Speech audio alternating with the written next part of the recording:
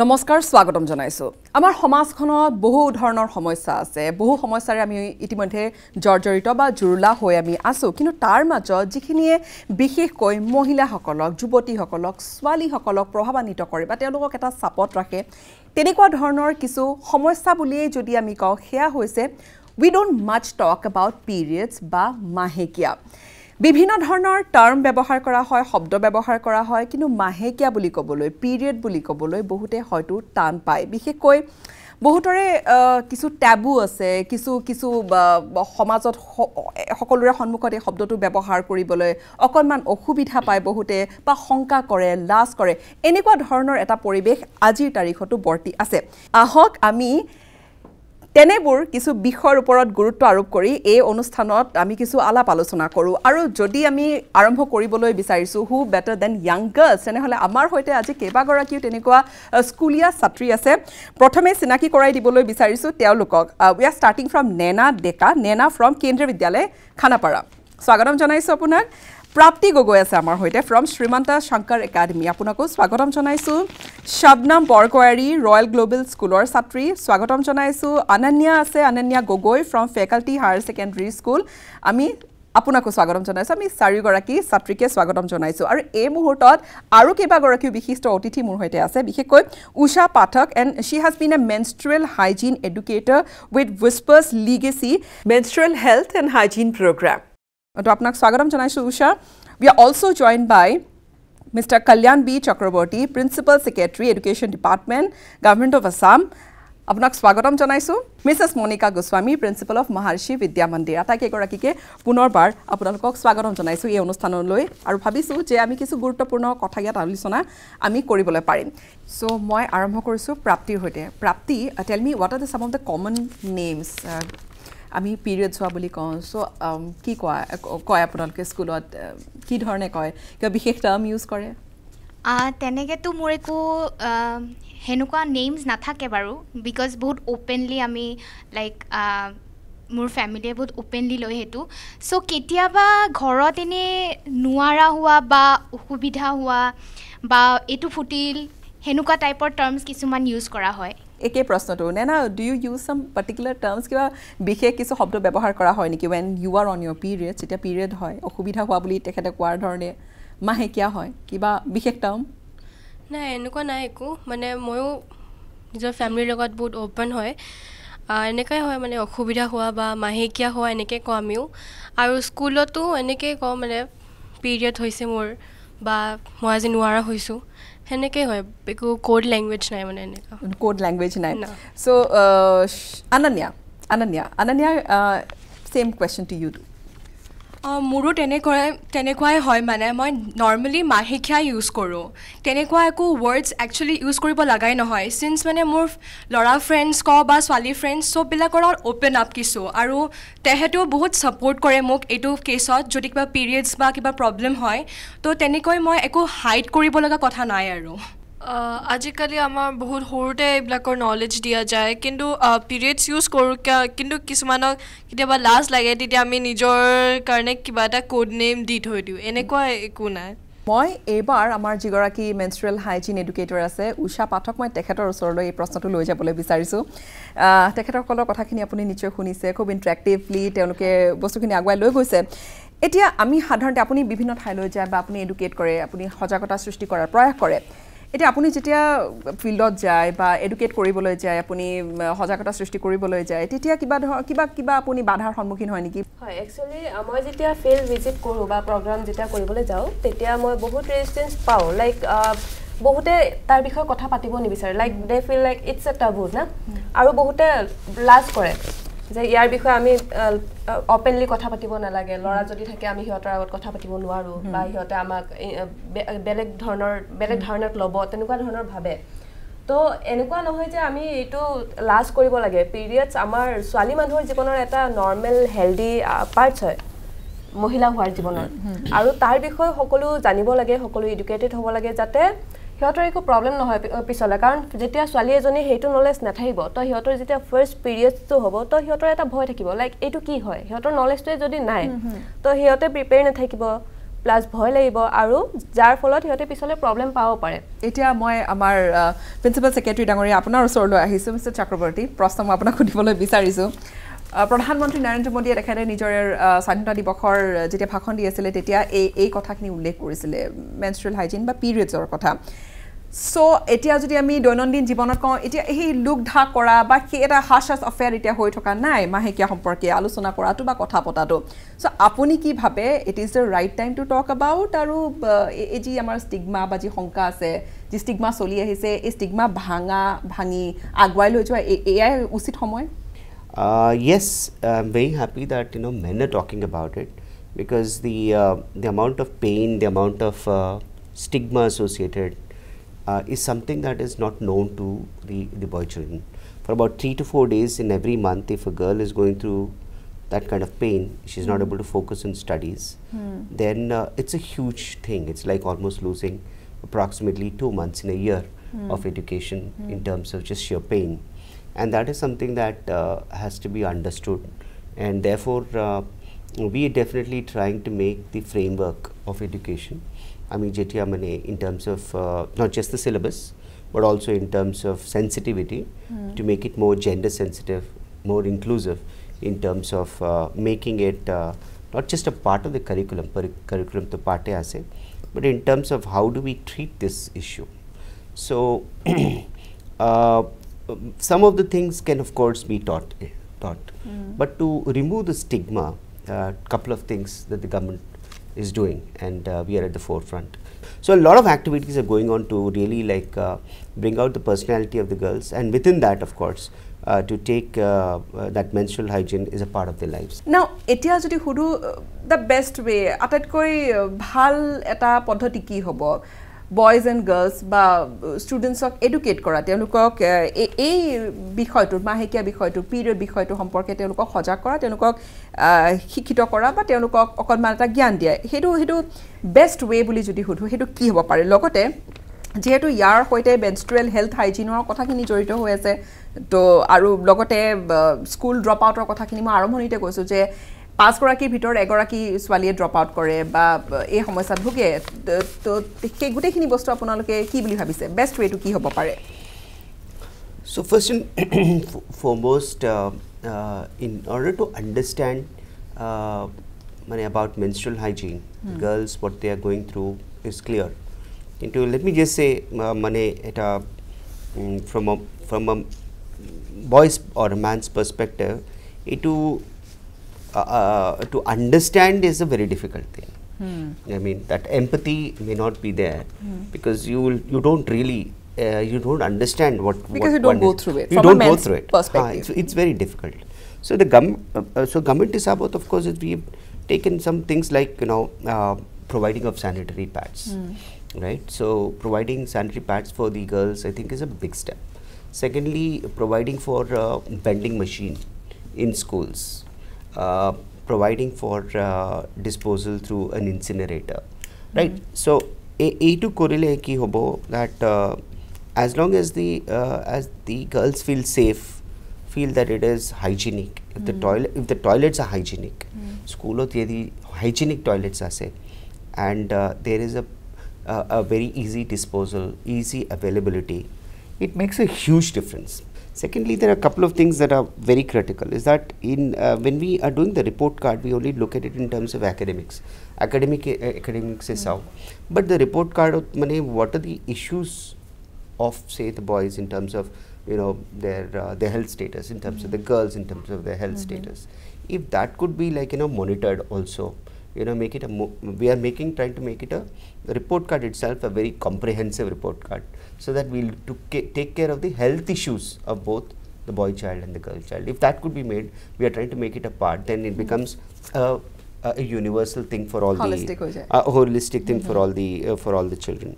So these are uh, some of the things and we are also looking at nutrition especially of the girl child. See nutrition as i said the three things important. Of course we are looking it is like a, we are only looking at you know mm, cereals that is you know in terms of carbohydrates or maybe in terms of proteins. We have now introduced the egg but in terms of also the need sometimes when when they go through that weakness to provide iron folic tablets etc so ensuring that these things in the report card is there that they are stronger.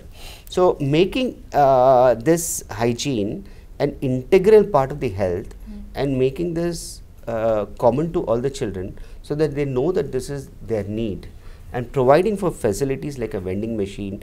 And then like you know in some of the schools we have had something like you know a girls menstrual hygiene room. Some of the deputy commissioners have done it. For example in my office we have opened a room for for women for uh, menstrual hygiene and for a creche which probably is one of the uh, i mean i think uh, a sensitive thing they call it but should have been a, a norm that in every uh, office there should have been a place which is uh, given for uh, for women to you know to have that privacy to change and also to take care of the children so i think that is something that has to be made more of a money it should become more of a norm এইটো সাধাৰণ হ'ব লাগে instead of being something special so' এই চেঞ্চিটিভিটি আমি আনিবলৈ খুজি আছোঁ and I think এইটো কৰিলে it will become more acceptable মই এতিয়া আ, মণিকা গোস্বামী ডাঙৰীয়ানী আপোনাৰ ওচৰলৈ আহিছোঁ আপুনি আ, এখন যেতিয়া স্কুল চলায় নিশ্চয়কৈ আপুনি প্ৰতিটো বিশেষকৈ যেতিয়া once a girl starts menstruating আপুনি সেইখিনি একেবাৰে সৰু সৰুৰ পৰাখিনি একেবাৰে ক্লাছ টেন টুৱেলভলৈকে আপুনি তেওঁলোকক ন'টিছ কৰে। তো এই বিষয়টো অৰ্থাৎ আমি আজি কৰি আছোঁ পিৰিয়ড কি পঢ়াই এই বিষয়টোৱে মাহেকীয়া বিষয়টোৱে তেওঁলোকক ক'ৰবাত স্কুল যাবলৈ কেতিয়াবা যি- ধৰণে তেওঁ ক'লে যে দুটা বা তিনিটা দিন তেওঁলোকে হয়তো স্কুল নাযাব পাৰে তেনেকুৱা আপুনি দেখে নেকি? তো চি বি এছ ই স্কুলত আমাৰ ধৰক ক্লাছ ছেভেনৰ পৰাই ৰিপ্ৰডাক্টিভ ছিষ্টেমৰ ওপৰত আমাৰ এটা চেপ্টাৰ থাকে। লাহে লাহে বাঢ়ি বাঢ়ি গৈ ক্লাছ টেনত পূৰা সম্পূৰ্ণ হয়। গতিকে এটা এডুকেশ্যন আমাৰ স্কুলৰ ল'ৰা ছোৱালীয়ে পায়। কিন্তু সেইটোতো ক্লাছ ছেভেনত কিন্তু আমি মানে দেখিছোঁ যে আজিকালি মে বি এটা টেকন'লজিকেল চেঞ্জৰ কাৰণে ধৰক মোবাইল হওক কম্পিউটাৰ হওক মানে ল'ৰা ছোৱালীবিলাকৰ মেইনছো আজিকালি ধৰক খুব সোনকালে হয়। ক্লাছ ফ'ৰত ধৰক এঘাৰ বছৰ দহ বছৰতে হৈ যায়। আৰু সেইটো আমি অনুভৱ যেতিয়া কৰিলোঁ যে এনেকুৱা সৰু ছোৱালী এজনী যেতিয়া হয় সিহঁতে কিছুমানে গমেই নাপায় যে কিনো মেইনছ হয়। আমি যেতিয়া সিহঁতৰ কাপোৰটো স্কুলত আছে কাপোৰটো লেতেৰা হৈছে তেতিয়া আহি পেলাই দৌৰি দৌৰি বাচ্ছাটো লৈ পেলাই মোৰ অফিচ পাই কৈছে মেডাম এনেকুৱা এনেকুৱা এটা ঘটনা হৈছে কি কৰিম? মই যে আমি পেৰেণ্টছক মাতি পেলাই কৈ দিওঁ ছোৱালীজনীয়ে নাজানে কি হৈছে? তেতিয়া আমি ভাবিলোঁ যে এইটো আমাৰ কাৰণে খুব দৰকাৰ যে আমি ইহঁতক ল'ৰা ছোৱালীবিলাকক আমি আমাৰ ফালৰ পৰা এডুকেশ্যন এটা দিওঁ। গতিকে আমি প্ৰথমতে মই আমাৰ কিছুমান ছিনিয়ৰ টিচাৰ ছায়েন্সৰ বায়'লজি বেকগ্ৰাউণ্ডৰ টিচাৰে আমি সিহঁতক ল'ৰা ছোৱালী ছোৱালীখিনিক ল'ৰাক নহয় ছোৱালীখিনিক এটা মানে হল আছে তাতে আমি সিহঁতক লৈ পেলাই আমি কথাখিনি কওঁ। আৰু এইটো এটা কথা যে মেণ্টেল এইটো যে মেনচুৰেশ্যন পিৰিয়ডত কেনেকৈ নিজকে মানে চাফা চিকুণ কৰি ৰাখিব লাগে এইটো বহুতে নাজানে এতিয়াও নাজানে। এতিয়াও মই যদি কম বহুত ছোৱালীয়ে নাজানে যে সেইখিনি সময়ত আমি কিমান চাফাকৈ থাকিব লাগে। অত্যন্ত গুৰুত্বপূৰ্ণ বিৰাট যিটোৰ পৰা আপোনাৰ মানে ইউৰিন ইনফেকশ্যনৰ পৰা আদি কৰি বহু ধৰণৰ হয়। ডিটেইল বা কম্পালচাৰী এটা যদি পাঠ্যক্ৰমৰ যদি আমি কথা কওঁ আপুনি এগৰাকী মই শিক্ষক বুলি কৈছোঁ। হয়। কিমান গুৰুত্বপূৰ্ণ বুলি ভাবে? যে। ল'ৰা ছোৱালী তেওঁলোকে কম্পালচাৰী বা এটা ডিটেইলড এটা তেনেকুৱা এটা বিশেষ ক্লাছৰ থ্ৰু তেওঁলোকে যাব লাগে। খুব দৰকাৰী। খুব দৰকাৰী বস্তু এইটো। অকল ছোৱালী বুলি নহয় ল'ৰাবিলাকৰো। কাৰণ ল'ৰাৰো যিটো হৰমেনেল চিক্ৰেশ্যন হয় মাষ্টাৰ বেড হয় ছোৱালীৰো আপোনাৰ তেওঁলোকৰো আমাৰ যিটো কয় অসমীয়াত হস্তমৈথুন বুলি কয় যিটো কৰে মানে বহুতে নাজানাকৈ কৰে বহুতে জানি কৰে সেইবিলাক বস্তুৰ কি মানে এফেক্ট হ'ব পাৰে তাৰ পৰা কিমান বেয়া হ'ব পাৰে সেইটো বস্তু সৰুতে বুজি নাপায়। যাৰ কাৰণে মানে পিছলৈ গৈ অসুবিধা হয়। সেইকাৰণে এই এডুকেশ্যনটো খুবেই দৰকাৰী। ইমান ল'ৰা ল'ৰাবিলাকৰোতো আপোনাৰ কিছুমান চিক্ৰেশ্যন হয় সিহঁতে বুজি নাপায়। সিহঁতে বন্ধুৰ পৰা গম পায় যিটো মানে ভুল ইনফৰ্মেশ্যন পায়। প্ৰাপ্তিৰ পৰা আৰম্ভ কৰিম ফাৰ্ষ্ট পিৰিয়ড প্ৰথম মাহেকীয়া যি হৈছিলে সেই ষ্টৰিটো সেই কাহিনীটো অকণমান জানিবলৈ বিচাৰিছোঁ কেনেকুৱা আছিল বা কি হৈছিল? ফাৰ্ষ্ট অফ অল মইতো একদমেই গম পোৱা নাছিলোঁ। মই তেতিয়া স্কুল আৱাৰ্ছ আছিল তো মই স্কুললৈ গৈছিলোঁ। দেন কি হৈছিল? মোৰ একচুৱেলি ফাৰ্ষ্ট পিৰিয়ড মানে ফাৰ্ষ্ট ক্লাছ যোনটো কয় ফাৰ্ষ্ট পিৰিয়ডটো হৈছিল। দেন মই একো ধৰিব পৰা নাছিলোঁ যে মই একদম স্কুলত একদম নৰ্মেলি আছিলোঁ। হা তো মোক আমাৰ যোনজনী আয়া আয়া আহি আমাৰ পাৰ্টিকুলাৰ ক্লাছটোত কৈছিল যে প্ৰাপ্তিৰ মাক আহিছে চ' তাইক লৈ যাব বিচাৰিছে। ছ' তেতিয়া মই ভাবিলোঁ হা মোক কিয় লৈ যাব বিচাৰিছে? মোৰতো একো বেমাৰো হোৱা নাই। ছ' সেইখিনি সময়ত মই অলপ থতৰ মটৰ খাই গ'লোঁ কি হৈছিল কি মোৰ।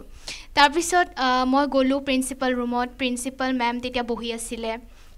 দেন মোৰ মাও লগত বহি আছিলে। সিহঁত দুটাৰ মাজত বহুত মানে দুইজনৰ মাজত কনভাৰচেশ্যন এটা হৈ আছিল। দেন মোক মায়ে জাষ্ট এনেকৈ এটা স্মাইল কৰি দেখি দিছিল যে অঁ তাৰপিছত মই বোলে এইটো কি কি মানে একো মই ধৰিব পৰা নাছিলোঁ। দেন মোক স্কুলৰ পৰা দেন মোক ঘৰলৈ লৈ যোৱা হ'ল। ঘৰলৈ লৈ যোৱাৰ সময়ত মোক বহুত মানে এনেকুৱা নিয়ম কানুন যিবিলাক কয় ডিউৰিং মানে অসুবিধা হোৱা বা পিৰিয়ডছ হৈ থাকিলে যিবিলাক ৰেষ্ট্ৰিকশ্যন মানে সেইবিলাক কয়। চ' মোক কি কৰিছিলে মোক এখন গামোচা দি ঢাকি মোক ঘৰলৈ লৈ গৈছিল। দেন মোক একো মানে গছ বা সূৰ্য সেইবিলাকক মানে বাধা কৰিছিল চাবলৈ। দেন মোক ঘৰত গৈ মোক এটা ৰুমত পূৰা মানে বন্ধ কৰি দিছিল। ল'ৰা মানুহকতো অভিয়াছলি চাব নালাগে। চ' সেইবিলাক মই চাব পৰা নাছিলোঁ। চ' সেনেকৈ সেনেকৈ ফৰ্টিন ডেইজৰ ফৰ্টিন ডেইজৰলৈকে মোক এটা ৰুমত বন্ধ কৰি কৰি থোৱা হৈছিল অকলে। এণ্ড কাকো চাব নোৱাৰাকৈ। দেন খাব খাব খাবও দিয়া নাছিলে চ' এনেই ফ্ৰুটছ সেনেকুৱা জুচ টাইপৰ মই এজনী বহুত মানে খোৱা টাইপৰ ছোৱালী চ' মই বহুত খাই ভাল পাওঁ চ' তেতিয়া মানে মোৰ মানে এনেকুৱা হৈছিল যে এইবিলাক কি হৈছে মানে মোক খাব কিয় দিয়া নাই তাৰপিছত আৰু সেইবিলাক ফ্ৰুটছ এণ্ড হেৰি চেৰি এইবিলাক জুচ সেইবিলাক খুৱাই খুৱাই দেন ফৰ্টিন ডেইজত মোৰ যি ৰিচুৱেলছটো যেতিয়া কমপ্লিট হ'ল তেতিয়া মোক একদম ভাল খানা দি একদম মানে চলে বাটোৰে পূৰা আনি পূৰা একদম মানে হেৰি কৰি দিছিল। চ' সেইখিনি সময় অলপ মোৰ কাৰণে বহুত কঠিন আছিলে মানে এক্সপিৰিয়েঞ্চ কৰাটো। খুব গুৰুত্বপূৰ্ণ কথা কৈছে বিশেষকৈ তুলনি বিয়াৰ প্ৰসংগই হওক বা অসমত বিশেষকৈ তেনেকৈ আহে। নেনা নেনাৰ কি আছিল ফাৰ্ষ্ট ষ্টৰি চ' মোৰ যেতিয়া ফাৰ্ষ্ট পিৰিয়ড হৈছিলে তো মই just as a normal day school যাবৰ কাৰণে ৰেডি হৈ আছিলোঁ। চ' মায়ে মাতি আছিলে মোক এইফালে ব্ৰেকফাষ্ট কৰিবৰ কাৰণে। চ' মই গ'লোঁ ব্ৰেকফাষ্ট কৰিলোঁ পিছত আহি পেলাই মই যে যাব ওলালোঁ স্কুল চ' স্কুল যোৱাৰ মই ৱাশ্বৰুম গ'লোঁ। কাৰণ মোৰ মানে অকণমান আনকমফৰ্টেবল ফিল হৈ আছিলে। চ' মই ক'লোঁ মা ৰ'বা মই ৱাশ্বৰুমৰ পৰা আহোঁ। চ' মই ৱাশ্বৰুম গ'লোঁ। এণ্ড দেন তাৰপিছত মই অকণমান শ্বকড হ'লোঁ। মানে দেখাৰ লগে লগেতো অভিয়াছলি এটা ৰিয়েকশ্যন আহে ন? দেন মই মাক ক'লোঁ মায়ে হাঁহিলে অলপ দেৰি পিছত মাক দেখি মোৰো হাঁহি উঠিলে। তাৰপিছত পিছত মায়ে মোৰ আইতাক মাতিলে। আইতা আহি পেলাই মা আইতা দুটাই হাঁহি আছে। আৰু ইফালে মই একো বুজি পোৱা নাই যে কি হৈ আছে। তাৰপিছত মোক আইতাই এযোৰ মেখেলা চাদৰ দিছিলে পিন্ধিবলৈ। পিছত মইতো মেখেলা চাদৰ পিন্ধিব নাজানো পিছত আইতাই ক'লে যেনেকৈ পিন্ধা পিন্ধা আৰু তুমি। পিছত মেখেলা চাদৰ পিন্ধিলোঁ। তাৰপিছত মোক তলত এখন মেট্ৰেছ পাৰি দিছিলে। তাতে মই ফৰ্টিন ডেইজ তাতে আছিলোঁ। আৰু মই ভাত খাব একচুৱেলি বহুত বেয়া পাওঁ। ভাতটো মই মানে এভইড এভইড কৰোঁ। তেতিয়া মই মাক কৈছিলোঁ যে মই মোক সোধা ভাত হ'লেও কেইটামান দি দিয়া আৰু। মই থাকিব নোৱাৰোঁ আৰু এনেকৈ। কাৰণ ফ্ৰুটছ জুচ এইবিলাকে খাই আছিলোঁ খাব পৰা নাছিলোঁ। তো ফৰ্টিন ডেইজ হোৱাৰ পিছত মই বহুত খাইছোঁ। মাৰ লগত বাহিৰত যায়। চ' দেটছ ইট শবনম মোৰতো অলপমান একেই লগত কিন্তু মই বাহিৰত গৈছিলোঁ। মই বাহিৰত বজাৰ কৰি আছিলোঁ মাৰ লগত। বজাৰ কৰাৰ পাছত মোৰ অলপমান অসুবিধা লাগি আছিলে। ঘৰত আহি পালোঁ। ঘৰত আহি নিজৰ আণ্ডাৰ গাৰ্মেণ্টটো যেতিয়া দেখা পালোঁ কিবা দাগ লাগি আছে তেজৰ দৰে অলপমান আচৰিত হ'লোঁ ভয়ো খালোঁ। ভাবিলোঁ ক'তোতো দুখ পোৱা নাই একোতো হোৱা নাই। বিষোৱাও নাই ঠিক ইমান। তাৰপিছত মই মাক মাতিলোঁ। মায়ে প্ৰথম দিনটোত একো নক'লে। লাহেকৈ নি ৰুমত থৈ কেনে নিজকে অলপমান চিন্তা কৰিব দিলে কি হৈ আছে। নিজৰ বডিটোত কাৰণ তেতিয়া বহুতখিনি চেঞ্জেছ অহা আৰম্ভ কৰে। আৰু মাইণ্ডটো তেতিয়া ইমান ষ্টেবলো হৈ নাথাকে। পুতুককৈ খং উঠে কান্দিব মন যায় ভাল লাগে কেতিয়াবা কেতিয়াবা। তাৰপিছত নেক্সট দিনাখন মায়ে আহি কেনে মোক লাহেকৈ বুজায় কি এইটো চব ছোৱালীৰে হয় ইয়াতে ভয় খাবলগীয়া একো কথা নাই। আৰু এইটো আমি ফেচ কৰিব লাগিব কাৰণ এইটো আমাৰ লাইফৰ এটা ফেজ হয় আৰু এইটো আমাৰ লাইফত এইটো থাকিবই আৰু আমি এইটো লৈ প্ৰাউড ফিল কৰিব লাগে। মা এইবিলাক বুজালে আৰু বহুতখিনি আমাৰ যেনেকৈ তুলনি বিয়াত বহুত এইবিলাক বহুত কিবা কিবি নিয়ম আছে নিয়ম আছে। কিন্তু এতিয়া যেতিয়া এইটো মডাৰ্ণ ডিছ হয় বহুতখিনি নিয়ম কমাই আনিছে। আৰু আমাৰ কাৰণে অলপমান ইজ কৰি দিছে তাকি যেন আমি ভয় নাখাওঁ এইবিলাক নহয়। কাৰণে মই তাৰ কাৰণে বহুত থেংকফুল হয়। আনান্যাৰ ওচৰলৈ আহিছোঁ আনান্যাৰ কি ষ্টৰী আছে? হয় মোৰো বাকীকেইজনী ছোৱালী কোৱাৰ দৰে হৈছিলে। মই ক্লাছ ফাইভত আছিলোঁ তেতিয়া। আৰু মই একদম স্কুললৈ গুচি গৈছোঁ তাৰপিছত ঘৰত আহি পেলাই তাৰপিছত মোৰ মায়ে সুধিলে তোমাৰ পেণ্টটোত কিবা লাগি আছে নেকি? তুমি কিবা দৌৰা দৌৰি কৰিলা নেকি স্কুলত? নে পৰি গ'লা ক'ৰবাত? তো মই মাক ক'লোঁ কি মইতো একো সেনেকুৱা একো কৰা নাছিলোঁ। তাৰপিছত মোৰ মায়ে ক'লে তুমি পাৰিলে এবাৰ বাথৰুমত চেক কৰি আহাচোন। তাৰপিছত মই যেতিয়া চেক কৰিবলৈ গ'লোঁ তেতিয়া হঠাৎ একদম ৰেড ষ্টেইনছ টাইপ একদম লাগি আছিল কিবা। তো মই একদম মানে শ্বক খাই গৈছোঁ একদম। মই শ্বক খাই পেলাই মই ভাবিছোঁ এইটো কি হয়? কি বস্তু হয়? মই মাক ক'বলৈ গ'লোঁ মায়ে মাক ক'লোঁ মায়ে কৈছে অঁ ফাৰ্ষ্টতে মানে হঠাৎ মাও মানে আকস্মিত হৈ গৈছিলে। তো মই মানে মায়ে ক'লে কি যে তুমি এতিয়া কেইদিনমানৰ কাৰণে এটা বেলেগ ৰুমত থাকিব লাগিব। সেইটো কোৱাৰ কাৰণে মইতো কান্দিব ধৰিলোঁ। তাৰপিছত মায়ে কৈছে পিৰিয়ডছ বুলি এটা বস্তু যে আছে সেইটো তোমাৰ হৈছে।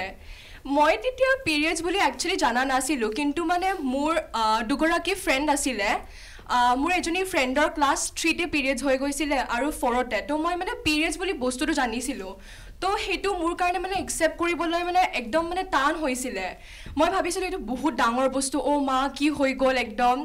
তাৰপিছত মোৰ ঘৰলৈ দেউতা আহিলে আৰু মই ফৰ্চুনেট বুলি ক'ম মানে মোৰ দেউতা এজন ডক্টৰ তো মানে একচুৱেলি আমাৰ অসমীয়া সমাজত মানে এইটো মানা যায় কি তুমি অসুবিধাৰ সময়ত নেচাৰেলি তুমি নিজৰ দেউতা দাদা বা সেনেকুৱা মেইন মেম্বাৰ্ছক চাব নোৱাৰা। বাট মোৰ দেউতা মানে ইমান খং কৰিছিল মোৰ মা আইতাৰ আগত। কৈছে কি যে ধেই এইটো এটা বায়'লজিকেল প্ৰচেছ হয়। এইটোক যদি আমি এনেকৈ ধৰা বান্ধা কৰি ৰাখোঁ ছোৱালীজনীতো আৰু বেছি ভয় খাব। তাৰপিছত দেউতাৰ ৰুমলৈ সোমাই আহিলে। মোক কান্দা দেখিছে। তাৰপিছত কৈছে একো নহয় একো নহয় মা। এইটো বহুত নেচাৰেল প্ৰচেছ হয় আৰু এইটো মানে ফাৰ্ষ্ট বুলি ভয় খাইছা আৰু তুমি। আৰু তেনেকুৱা মোক একো ৰেষ্ট্ৰিকশ্যনছ একচুৱেলি দিয়া নাছিলে। খালি মানে মোৰ আইতা আইতাৰ কাৰণে মানে তুলনি বিয়াখন মানে এনেই সৰু হিচাপে পাতিব লগা হ'ল আৰু। বাকী মোৰ সেনেকুৱা একো ৰেষ্ট্ৰিকশ্যনছ খাবলৈ মানে ফাৰ্ষ্ট দুদিন মানে ফ্ৰুটছ এই চব খাব লগা হ'ল তাৰে থাৰ্ড দিনা মোক ৰুটি এইবোৰ খাব দিছিলে। তো মই মানে বহুত বেছি থেংকফুল মোৰ পেৰেণ্টছলৈ স্পেচিয়েলি মোৰ দেউতালৈ বিকজ মানে ইমান নেচাৰেলি ৰিয়াক্ট কৰিছে। আৰু মানে বুজাই দিছে কি মানে পিৰিয়ডছটো কি বস্তু হয় আৰু মানে ভয় খাবলৈ একো বস্তু নহয়। আৰু ময়ো ভাবোঁ কি মানে যিহেতু আমি অসমীয়া সমাজত থাকোঁ এইটো একচুৱেলি ট্ৰেডিশ্যনছ আৰু আমাৰ কাষ্টমছটো ফ'ল' কৰিব লাগে। বাট হ'লেও মানে ইমান বেছি ধৰা বন্ধা নিয়ম থাকিব নালাগে যিহেতু আমি একদম মডাৰ্ণ ডেইজত পাই গৈছোঁ। শাবনাম যেতিয়া ফ্ৰেণ্ডছৰ লগত কথা পাতা এই সম্পৰ্কে কিবা কথা পাতানে পিৰিয়ড সম্পৰ্কে স্পেচিয়েলি বইজ হয় পতা হয় ফ্ৰেণ্ডছবিলাকৰ লগত কোনোবাই কেতিয়াবা নিজৰ পেট আনিব পাহৰি যায়। নহ'লে বা কাৰোবাৰ কাৰোবাৰ গাটো ভাল লাগি নাথাকে তেতিয়া আমাক সোধে কি কৰিব লাগে কি কৰিব নালাগে। আৰু ল'ৰাবিলাকৰো কেতিয়াবা জানিব মন যায় তেতিয়া এটা দুটা প্ৰশ্ন সুধি লয় তাহাঁতে ইমান লাজ নকৰে। আৰু আৰু আমাৰ স্কুলত বহুত সৰুৰ পৰাই এইটো বিষয়ত ভালকৈ জ্ঞান দিছে। সেইকাৰণে বহুখিনি আহ, ল'ৰা জানে আৰু আমাকো কেতিয়াবা পেড আনাত কেতিয়াবা হেল্প কৰি দিয়ে এম ৰুমৰ পৰা যদি ৱাছৰুমত কেতিয়াবা থাকি দিওঁ তাহাঁতে কেতিয়াবা আনি দিয়ে। তেনেকৈ বহুতখিনি সহায় কৰি দিয়ে আৰু কাৰো এনেকুৱা ইমান লাজ নাপায়। অ'কে চ' নেনা আৰু প্ৰাপ্তি মিথছ বহুতখিনি আছে নহয় জানো? বহুতখিনি আছে এনেকুৱা যে ধাৰণা এটা চলি আহিছে নেনা প্ৰাপ্তি দুয়োগৰাকীকৈ। তেনেকুৱা ধাৰণা কি কি শুনি আহিছে মেনষ্ট্ৰুৱেশ্যনৰ বিষয়ে পিৰিয়ডছৰ বিষয়ে? নেনাৰ পৰা আৰম্ভ কৰোঁ। এনেকুৱা মিথছ বহুত আছে। লাইক আমাৰ যেতিয়া পিৰিয়ডছ হয় আমি আইনাত চাব নোৱাৰোঁ নিজকে। আমি কিটচেনলৈ যাব নোৱাৰোঁ। প্ৰাপ্তিৰ কি আছে? কিবা এনেকুৱা? জানিবলগীয়া আছে নেকি? সেইখিনিয়ে চাব নালাগে বেলেগক আৰু পিৰিয়ডছ হৈ থাকিলে ল'ৰা মানুহৰ ওচৰত যাব নালাগে। ফেমিলি মেম্বাৰ্ছৰ ওচৰত যাব নালাগে। তেতিয়া আৰু কিটচেনত সোমাব নালাগে সেইটো ক'লে। এণ্ড আমি গোসাঁই থাপনাত বিশেষকৈ যাব নালাগে। সেইটো মানে মিথছ হিচাপে সেইটো লোৱা হয়। চ' সেইখিনিয়ে। এডুকেটৰ হিচাপে যিহেতু আমাৰ সৈতে উষা আছে উষাৰ নিশ্চয়কৈ কেইটামান প্ৰশ্ন আছে তেওঁলোকলৈ। হয় মোৰ এটা বহুত ডাঙৰ ইম্পৰ্টেণ্ট কুৱেশ্যনছ আছে তোমালোকক। তোমালোকৰ যেতিয়া পিৰিয়ডছ হয় তোমালোকে নিজকে কেনেকৈ মেনেজ কৰা? পিৰিয়ডছৰ সময়ত মই ভাবোঁ কি মানে আমাৰ নিজৰ বডিৰ কাৰণে পৰিচালনা বা হেল্থ ইছ্যুজবোৰ বহুত বেছি ভালকৈ চাব লাগে।